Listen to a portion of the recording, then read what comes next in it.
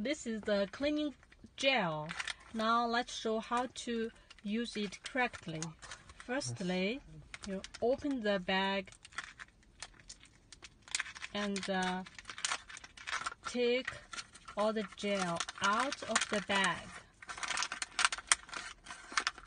You can see the gel is gelatinous.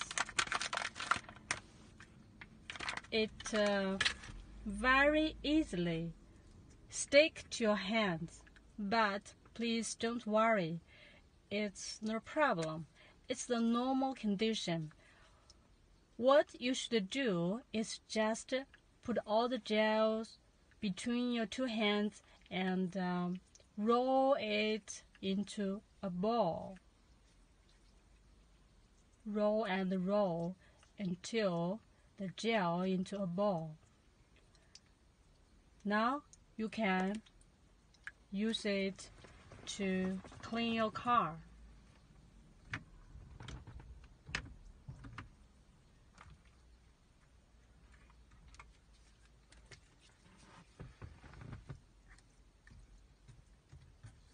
And uh, after you use it, please put the gel back into the bag